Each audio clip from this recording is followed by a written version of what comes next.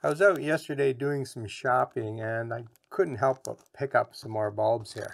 These are cannas and they're a great addition to any garden.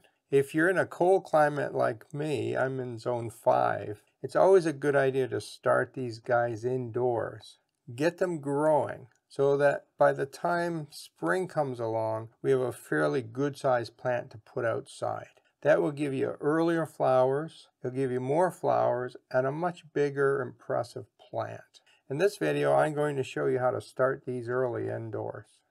These are the cannas I selected. They're called Louise Cotton. They have a nice yellow flower with very dark leaves. The one thing that is a little unique about these is that they're quite short growing. They should only be about two feet tall. That's going to work quite well for me because I'm going to grow some of these in pots. So let's have a look inside.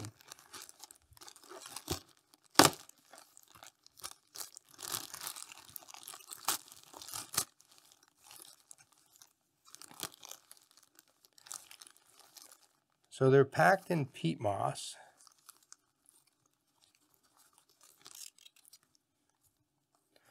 Now these are rhizomes very similar to bearded iris.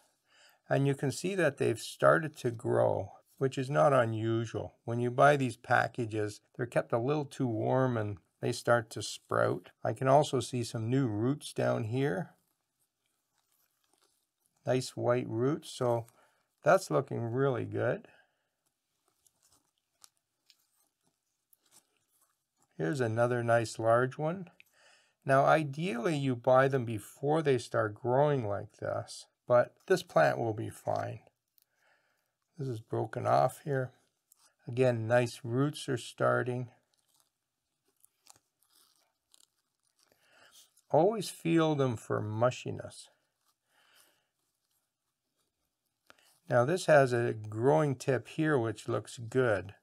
This end is quite soft and mushy. So what I'm going to do with this one is try to break it off here and get rid of the mushy end. Yeah, and you can see the color inside here is quite dark. Get rid of that. Hopefully this piece will grow. Here's another really nice one. Nice growth, nice strong rhizomes. Everything is good and firm. Here's a mushy piece that already fell off.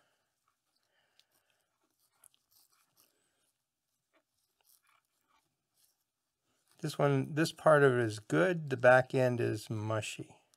So I'm going to get a knife and just cut this piece off, I think.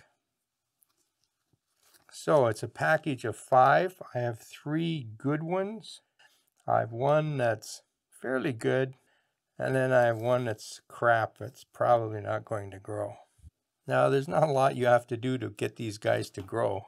This is my Pro Mix. You can pot these up in pots or just use a tray like this. Set them in and just barely cover them with the peat moss. This new growth I'll just let stick up above the soil. Now we want this soil to be just a little bit moist. We want a good root system starting before we water these normally. So I'll just put a little bit of moisture on here and then leave it. I'd rather have it too dry than too wet. Too wet might rot these. Too dry will just slow them down. But as they start growing and as the root system gets larger, you give them a little bit more water each time. Now you don't really have to fertilize these. There's enough food stored in these rhizomes to get them started in spring.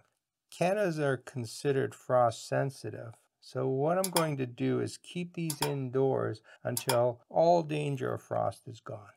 And only then do they go outside. Well, you don't want to take a chance on these. My rule of thumb is that I don't really take these plants outside until I have consistent 10 degrees centigrade temperatures. They like to grow warm. If I take them outside too early, they'll just stop growing anyways, and then there's a chance they'll be harmed with frost. Now I'm going to try something interesting with these. I'm going to take some of these and grow them in the ground, and I'm going to take the others and grow them in my pond. Cannas like to have wet feet. They like the roots in the water. And I want to see if they grow better in water or in soil. So hopefully I'll make another video at the end of the summer and show you how these did and compare the two growing systems. Anyways, if you've never grown cannas, give them a try. They're very easy to grow, very exotic looking. At the end of the summer, you'll want to dig them up and bring them indoors and store them for the winter. And I have a video to show you how to do that. Happy gardening.